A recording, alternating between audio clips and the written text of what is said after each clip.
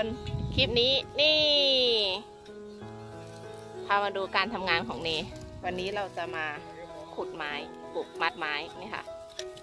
อันนี้คือที่ขุดออกมาแล้วนะคะ เบ้าจะเป็นสามเหลี่ยมแบบนี้ อันนี้ก็คือไม้แพ็กชอนตอนนี้ออกดอกสวยงามเลย ใครว่างมาช่วยเนทำงานหน่อยค่ะ ไปดูงานของเนวันนี้ค่ะ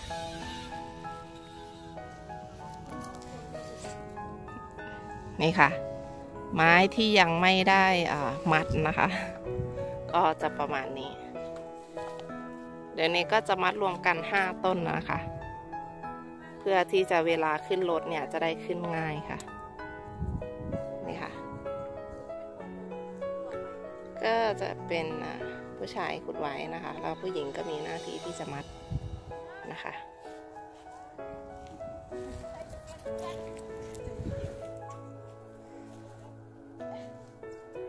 คะวันนี้ เยอะมาก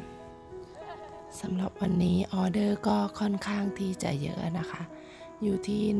15,000 ต้นค่ะ ก็เลย เมื่อกี้ก็จะเห็นว่ามีคนงานค่อนข้างที่จะเยอะนะคะ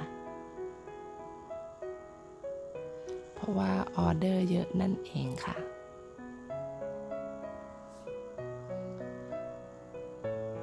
เนี่ยค่ะ งานในวันนี้ ก็น่าจะต้องขุดเนี่ยแหละค่ะ มัดเนี่ยแหละค่ะ ทั้งวันหมื่นห้าพันต้นค่ะ ช่วงนี้ดอกออกคือสวยงามมากเลยค่ะ ปีแรกที่มาที่แบบมาเห็นแบบ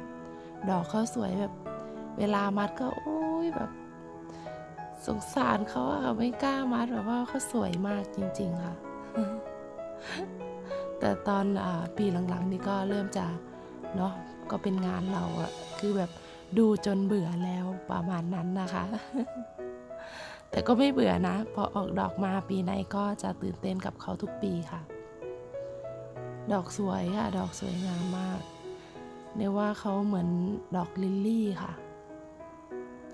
แต่อาจจะแตกต่างตรงที่ดอกอกุหลาบพันปีตัวนี้ หรือว่าแพ็กชอนเนี่ย เขาดอกของเขาจะออกมาเป็นพวงเท่านั้นเองค่ะ อันนี้เนเคยเอาไปปลูกที่ไทยแล้วนะคะ ก็ให้แม่ปลูกนะคะ ก็ปรากฏว่าก็มีติดบ้างตายบ้าง แต่ว่าออันที่ติดที่ไม่ตายเนี่ยคือดอกออกอมาน้อยมากค่ะ ก็น่าจะเกี่ยวกับอุณหภูมินะคะ เพราะว่าบ้านเราร้อนร้อนเกิน ส่วนใหญ่เนี่ยดอกไม้เขาจะออกอดีในอุณหภูมิที่ 13 ถึง 25 องศานะคะ บ้านเราร้อนเกินค่ะ ก็เลยไม่ค่อยออกดอกเท่าไหร่ตัวนี้ค่ะ ใครว่างมาช่วยในทำงานสักหน่อย ทั้งวันค่ะ ช่วงนี้ก็ช่วงเช้าก็ยังอากาศเย็นๆอยู่นะคะ แต่กลางวันก็เริ่มจะร้อนแล้วค่ะ นี่ค่ะผลงานมาเสร็จแล้ว ก็ถือว่าเยอะเนี่ยค่ะ เยอะมาก 15,000 ต้นก็น่าจะใช้รถประมาณ 4 คันนะคะในการบรรทุก ก็เดี๋ยวรถมาก็จะต้องช่วยกันเอาขึ้นรถด้วยนะคะเนี่ยค่ะให้ดูที่ขุดที่มาเสร็จแล้วนะคะโน่นมองไปเมื่อกี้เห็นไหมคะรถมาแล้วหนึ่งคัน แต่ว่าเดี๋ยวเจ้านาย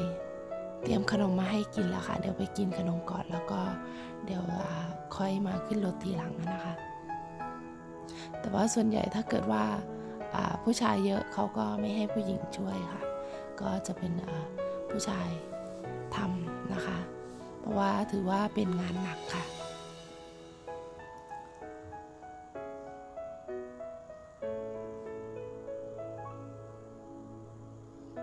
เนี่ยค่ะ งานเน ไม่ยากแล้วก็ไม่ง่าย ไม่หนักแล้วก็ไม่เบาเกินไปค่ะ ก็พอทำได้ค่ะ ก็สำหรับคลิปนี้ก็เป็นเพียงบางส่วนของงานเนที่เอามาฝากนะคะ ถ้าใครชอบคลิปวิดีโอของเนในฝากกดไลค์ กดแชร์ แล้วก็อย่าลืมกดติดตาม กดกระดิ่งให้เนด้วยนะคะ จะได้มีกำลังใจทำคลิปต่อๆไปค่ะ